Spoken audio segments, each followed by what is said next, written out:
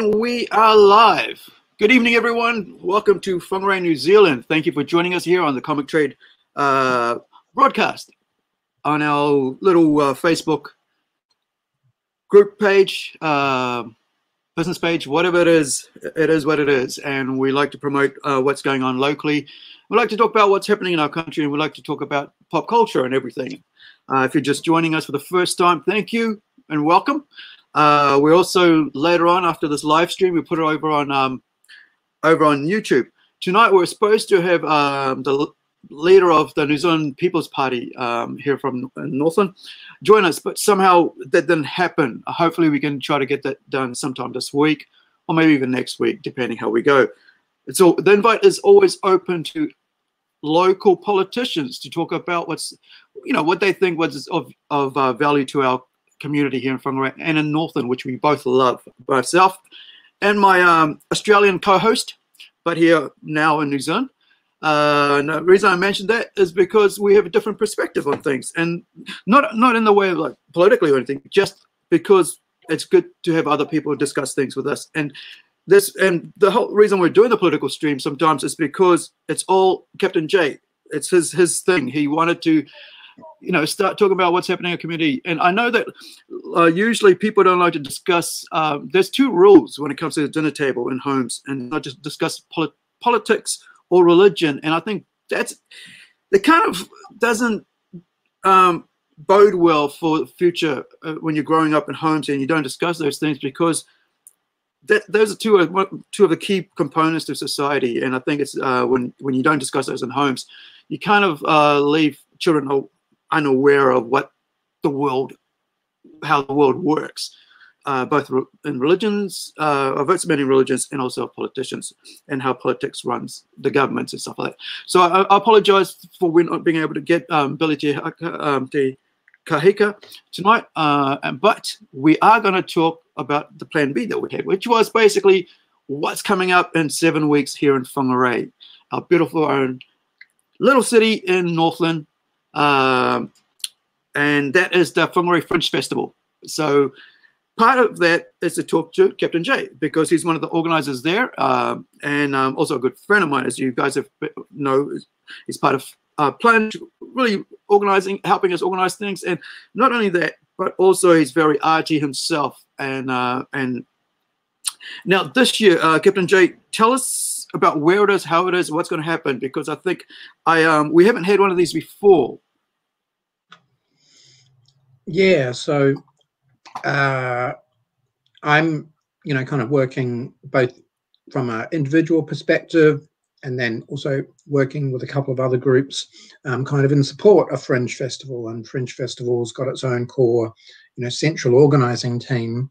But essentially, you know, a Fringe Festival there's kind of probably two interesting aspects about it. Um, is that um, you know, with a lot of festivals, they're put on and they're kind of curated, and and somebody else decides, you know, what's going to show and where, and you know what it's going to be, and so forth. Whereas with um, a fringe festival, typically. Uh, you know the core organizing team they're kind of you know creating kind of like an umbrella and providing some of the the support networks but really um, it's up to all of us it's up to artists performers um, uh, you know, a whole range of diverse um, uh, talents in the, ta- in the city to um, organize um, our own events, and we just kind of then slip those in under the um, the main fringe um, festival organizing umbrella. So, what is what is the fringe? I mean, what is it about? Well, I suppose um, you know some of the history of, of fringe festivals are that um, uh, you know, especially in a, in a lot of larger cities, they might regularly have some more art orientated um, uh, festivals, summer fes- festivals, winter festivals. You know, they all happen in, in um, in across big cities, but um, obviously um, there were probably you know at various times different artists that felt like that you know their art wasn't getting an opportunity to get represented because it might be some brand new work it might be something that's maybe a, quite a challenging topic uh, it might be um, that you know at a at a time when there's more people, you know, out and about and kind of aware that there's things on, that it means that a whole bunch of other pop-up type performances, comedy, uh, and so forth can kind of, you know, uh, music and so forth can kind of pop up in other spaces where these things might not normally be occurring. So they might take over, you know, uh, a shop that's for lease or um, use an empty space in town that um, can be repurposed as a venue. Um, so it allows for a, you know, much greater variety and a lot more um, things which, uh, you know, are really interesting, maybe never seen before.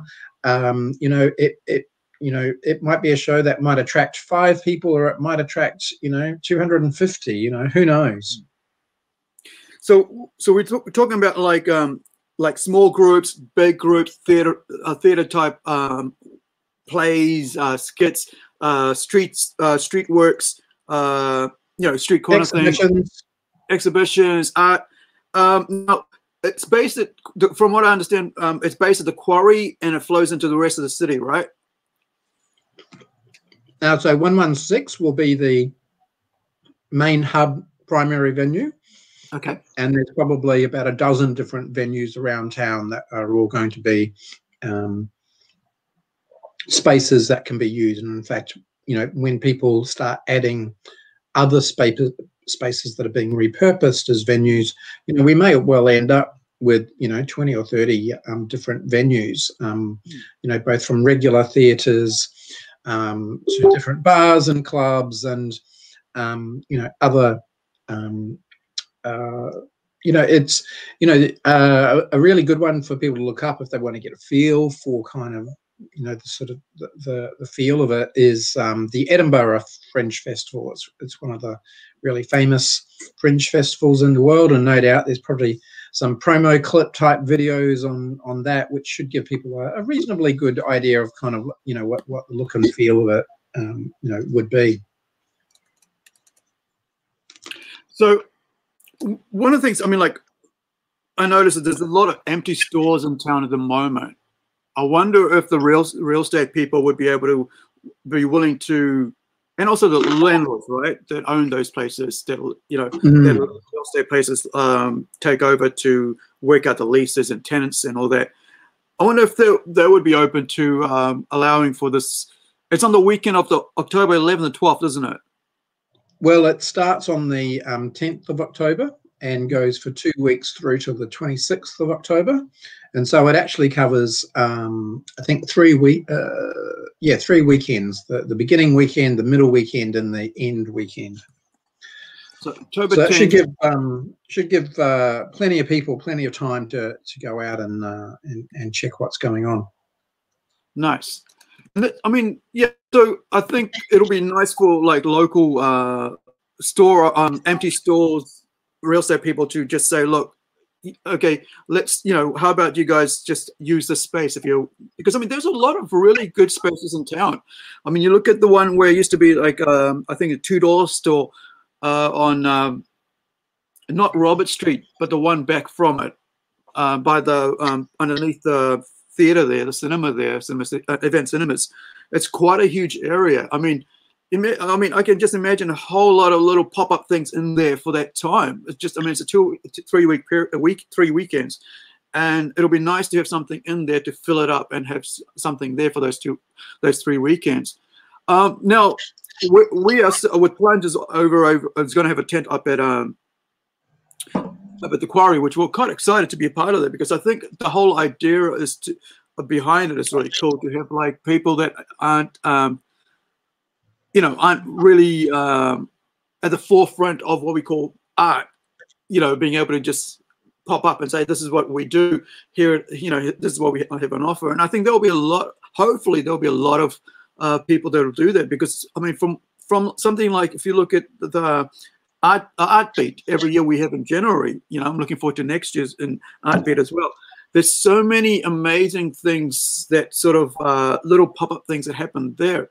I mean, from like uh, solo artists to group artists to musicians to hip hop groups to uh, you know to R and B, um, jazz and all that. So if you had you know, like I mean, look at Bay of Islands Jazz Festival. I mean, that goes off. I mean, every year they have such a huge you know huge thing for them. So maybe for us, having the Fringe Festival in Whangarei would be really pretty cool to have that every year as well, where the city itself gets behind and goes, hey, let's own this and let's really, you know, focus in on that. Now, is the city providing, um, you know, is the council providing any sort of funding towards this to be on? And, or is it like the groups have to go out and find their own funding? Um, so I believe there was an article in the paper. They did get um, quite a um, generous grant, um, mm.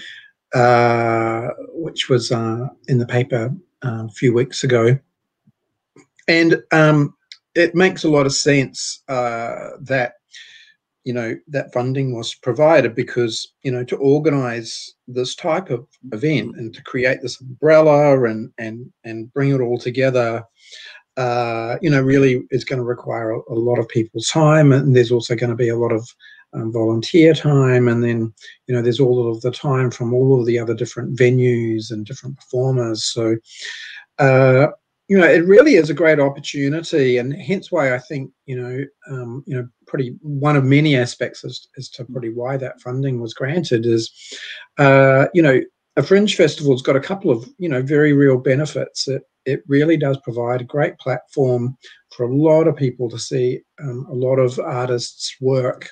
You know, no matter whether you know they're working in the art of comedy or um, you know visual art or in performance or theatre, musicians.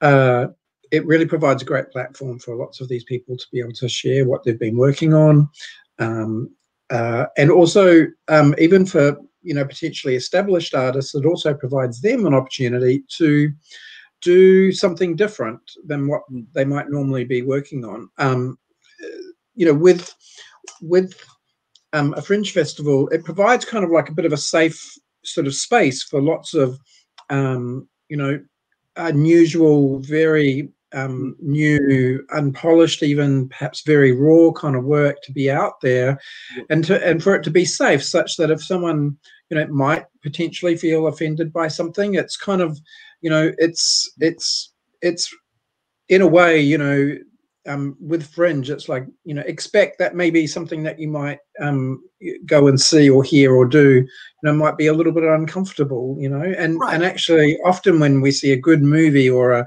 or a really you know um, good piece of um, theatre or play that um, you know there is a level that sometimes whereby you do want to actually you know have it you know uh, one way of looking at art is that art you know kind of gets people to look at the world a little bit differently from how they might have looked at it before they saw a painting, a sculpture, a, a show, and so forth. Mm. Uh, and also, um, you know, one of the things that Fringe does is that it, it brings a lot of activity. So it's going to, you know, um, all things going well and pretty fingers crossed, it, it could well be a really great um, way of spurring the local economy up here um, as it may well be a period where it's going to be a bit warmer. Um, yeah. It provides a really good opportunity for lots of businesses to to really take advantage of, um, you know, hopefully the, the, good crowds of people that will get into town on a really good kind of like high traffic regular basis through that two weeks you know mm. um, even you know often in town you know it's really quiet on like sundays and monday tuesday and then it doesn't start to kind of ramp up again until like Wednesday, Thursday, Friday, and Saturday. Whereas the Fringe Festival is really, you know, operating, you know, the whole of those two weeks, and and you know, you often getting lots of people that are probably coming into town, you know, to catch a couple of nights or one night of shows, and then other people are coming in and out. We may even see all the hotels booked out. Who knows?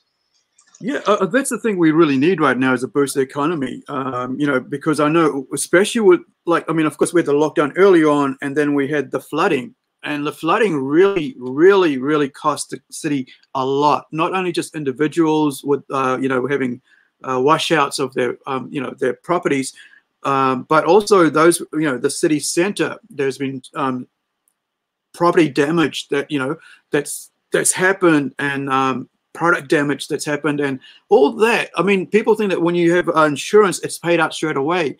A lot of time, it takes months to get that done, and so, in that in that meantime, you need money to go in there and products to be sold, but you know it costs cost um, business person so much and the employees as well trying to raise that. And I think you're right on this, and you, of course you know this, but uh, for those not listening, I mean they're just listening to us about this, is that whenever you have these functions and festivals coming to town, there is this whole monetary uh, benefit to the city. You may not like what's happening, but you or what you you know might not like the artist or something like but every time that comes into the city there are folks that like it and there are actual well we say the groupies that follow them around that actually come and watch them as well and also not only that but you learn new things but there's there's food gets sold there's uh you know there's um, grocery stores get and this is all about the whole economy like employment um people get paid and um you know um like you were saying, but the hotels and stuff. Not only that, people probably get billeted out as well because not you know not everybody wants to live in a hotel for that weekend. So there'll be people on you know on on online going, hey, do you have a room available or do you have a couch free for this time that we can you know couch surf for the two weeks and we'll give you you know so much money for that time we're there like they used to do you know like when they had the world cup people were staying in people's homes while they left the because they were into rugby. So they left the city, went somewhere else for a holiday for that time, and rented out their house. And so there is this opportunity that for individuals to, you know, earn some from this as well. But the great thing is that it, it props up the um, the community and the creative side as well, and the arts and music and everything that that, that incorporates. I mean, like we've got um, such such amazing uh, work that goes in. Now, the other thing I want to talk about is actually running something like this, putting this on. A lot of times people don't realize the cost of that goes into and why there is a need for grants from councils for things like this. I know when we are doing, there is all this running around we do year round um, and um, of promoting, of talking, of putting it all together. But there's hours and hours and hours of volunteer work that goes into actually promote, you know, putting it all together. And, um, and not only that, but when you're running something like the Fringe, it's a huge event, right? So you got so many groups you got to deal with, so many artists you got to deal with, so many musicians, uh, you got to deal with uh, so many community groups, and all that gets taken up with time that um, you know that is valued. I mean, if you put a monetary value on this, it's not it's uh, um, astronomical because uh, you know you got all these meetings that happen. They're not only that you got to get around to actually uh, promoting it. And the other thing is that then you got to get uh, printed material to also promote to show who's going, who's coming where. But one of the other things about um, our day and age is that we're able, because of social media, we're able to do that. Now, you guys, talking to which, segue into that, you guys have a uh, Instagram page for, for this uh, for the Fringe Festival. It's Whangarei Fringe Festival, isn't it, on Instagram? Or whoever's running the Instagram uh, page there. And I see the um, the images there promoting those different groups. So how many groups are there and are there other different instagram page i mean sorry social media uh, group pages that you have got going on as part of this yeah well that's probably uh, you know a better question for the actual fringe team um, uh, obviously um, you know what they've done is to encourage um, you know the different participants to you know share with them the sorts of events that that we're all planning kind of independently. Um, and that's and that's the great role that um, they're playing is to is to be able to um, obviously um, you know have a central hub for ticketing. You know they've got the fringe festival uh, website up and running. They've got their social media channels. So yeah it looks like they're doing a fantastic job at um, starting to you know promote the event and also um, you know, helping all the you know various artists and performers who are um, you know looking to be part of it.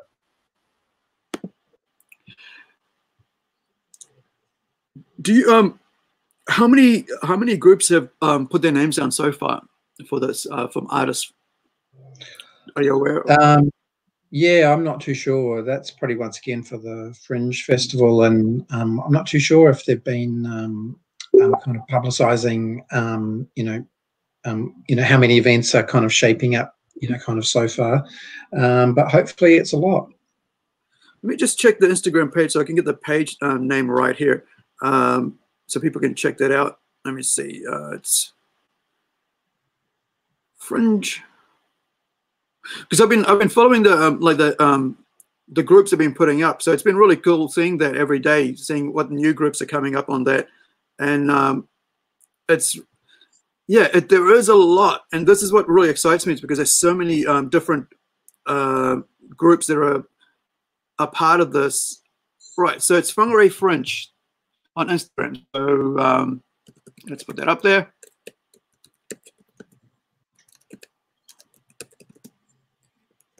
Whangarei Fringe. I mean, it's very simple. I mean, it's so here we go. Um, the page was put up in a right here we go. So I keep thinking that 2020 was last year. Every time I look at 2020, it's like, oh, it's, it's you know, it's it's last year. And I think, oh, that page was put up last year, but no. So um, so you've also they've also got a link by um link in bio at Fringe uh, Whangarei Fringe.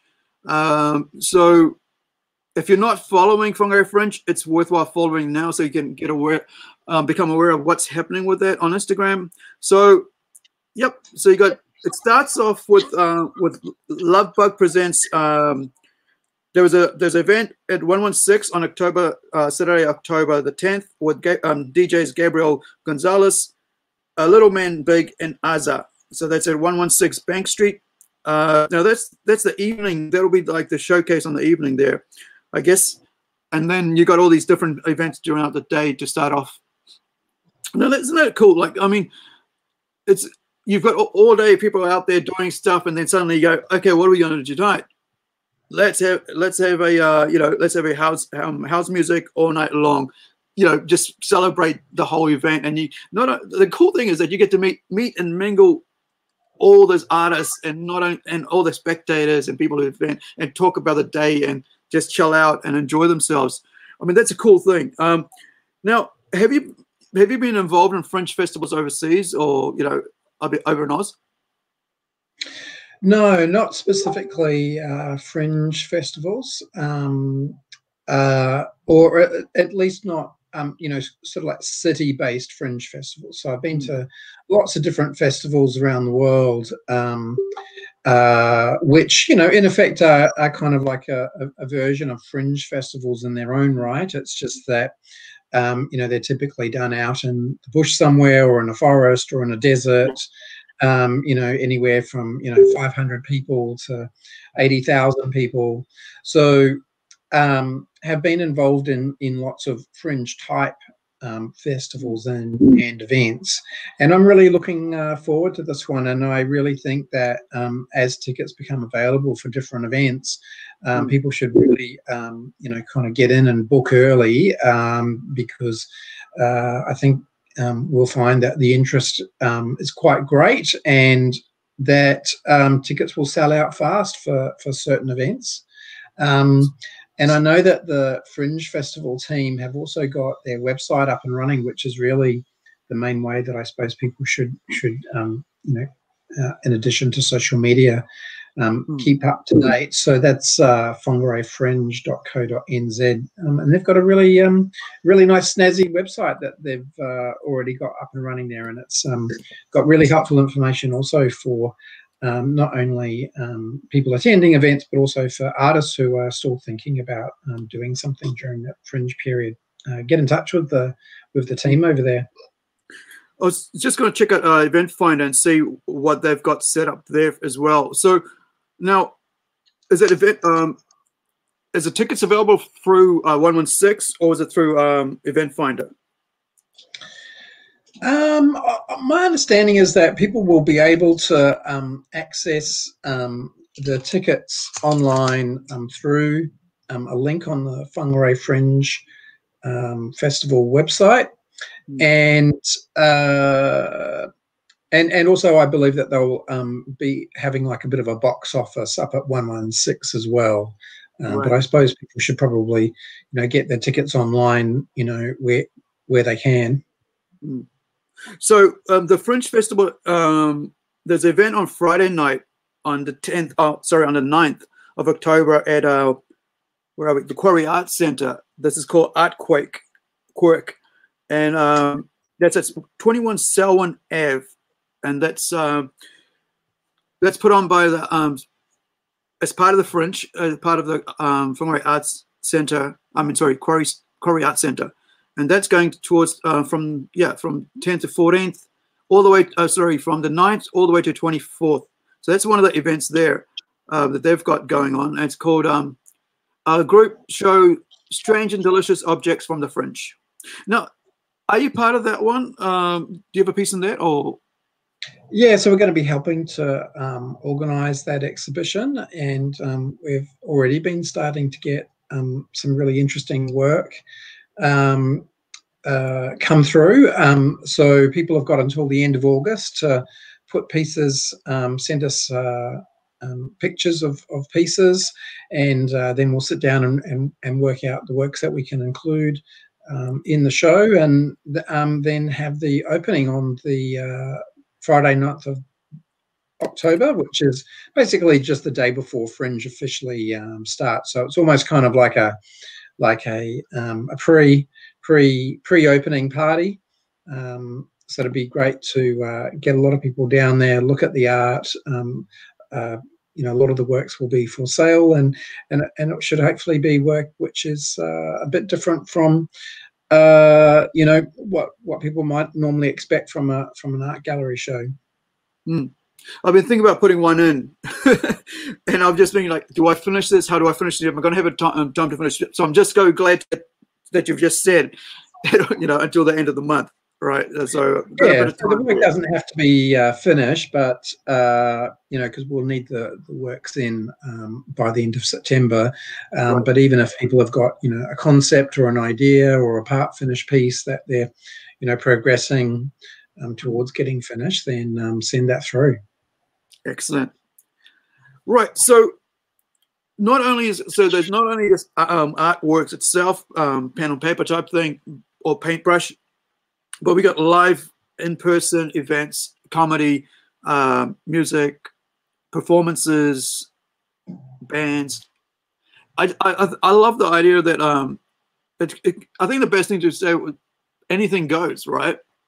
And um, it's like so there's it's kind of um, be, to be, come with open minds and not be sort of like um, closed-minded about these things because this is the, the fringe and I think that's that's the whole idea of the fringe is that you got so much. Well, to me anyway, is that just be, have an open mind about what you see, and um, and also there will be uh, like there'll be pamphlets saying what's going to be on, so you don't you can pick and choose to be there. Like any festivals, be it which ones you want to be at and enjoy. And I think I'm I'm looking forward to it because it's it's just such a great event to have in our city, and um, and I'm yeah, I think it'll be a great to economy, and I'm always concerned when when there's something. I'm always actually not concerned, but I'm actually always excited when there's something of benefit to the community financially because it means that then it's beneficial to people in the community financially, which means it's good for the families living in that community, and so and also to people who are working in that community provide for, like we said, food, tea, tea and coffee, you know, cakes and biscuits, all those little, you know, uh, little uh, caravan uh, um, trailers, uh, trailer food things, uh, ice blocks for the kids, all that pizzas, all that that comes out to these events because, of course, there's the other facet of that is actually providing food for the people that are actually going to go there. So you can have all these van, food vans that are around town can actually show up at these places and provide. Of course, at the quarry, they have their own cafe uh, and also at, at um, also at uh, 116 they also have their own cafe with uh, Ant there running his Luna Cafe there. So you know these these places, some of them already have their food provisions, but other places that won't have them, you'll have the old um, um, probably you know most likely we'll see those food um, vans parked up providing food, so you're not going to go hungry while you're waiting, or not going to go thirsty. So I'm looking forward to it. Um, I'm not going to use up any more of your time, but give us yeah, give us your last words for tonight uh, about the Fringe. Look, I think what you know, there's two things about the Fringe Festival. You know, uh, uh, in addition to what we've been talking about, that's going to be really great for Whangarei. I think that you know, Fringe festivals can also generate ongoing interest in these types of events and these types of performances and so forth. So we may well see that um, you know, there might actually be new little venues. There might be, you know, new, more regular things that kind of pop up um, um, around town. And, uh, you know, it, it's also a great way to start to really kind of invite people, um, you know, in Northland to, to come and um, spend a bit more time um, supporting the arts uh, because it really then becomes this really beautiful cycle that if we're supporting our local artists, um, and then, of course, if our local businesses are being supported and our venues are being supported, that it has then really, really good um, kind of domino effect, you know, throughout Northland, um, which is a bit different from, you know, like when shows come to town um, from from outside of Northland, then you know sometimes you know th- there's a lot of money which is which is made by the show um, but then you know they they leave town and um, and so the, the the broader community doesn't get the, the full overall benefit of something you know like a two week festival. So um, it's really exciting for uh, Northland. It's very exciting for lots of artists, and it's very exciting for um, you know summer and Whangarei as we. Um, uh, we'll probably have a much more energized environment, um, you know, um, after the Fringe Festival. I, I think for many of us, we'll, we'll probably not want it to end. Excellent so that's all we have tonight. Uh, apologies again for not, uh, yeah, not being able to do the um, political interview. Uh, so thank you everyone who's been watching our show and following us uh, over the past few months. But also, we try to put this on every week as when possible. But um, hopefully, um, you've enjoyed what we talked about, and I'm really looking for what's coming up with the Fringe. And like I said, check out their website, uh, Whangarei Fringe co.nz. Check out the Instagram. Um, um, they most likely have a Twitter page, but do check out what's going on and what's coming up because it's it's beneficial to our community, as we've said, and um, and also the long term benefits. Hopefully, we can do this every year. Um, but the first one's got to be successful enough to make it work. So, and, and well done to the uh, to the Whangarei yeah. uh, Fringe Festival team. Um, they're doing an awesome job. Awesome. Hopefully, we might. I mean, coming up, we might be able to get those guys on as well to talk about. Uh, they. That sounds like a great idea. Yeah. You know, let's let's hear from the the heart of the uh, the the fringe the fringe machine. Excellent. You, I'll let you take care of that one since you're part of that group. So hopefully they can, you know, tell us about what the other um, amazing groups that are going to be upcoming into our city. And as always, ka kite ano. Thank you for joining us. And wherever you are, keep well and um, have a good one. Until next time, from myself, Malphunkson, and Captain J. See you next time.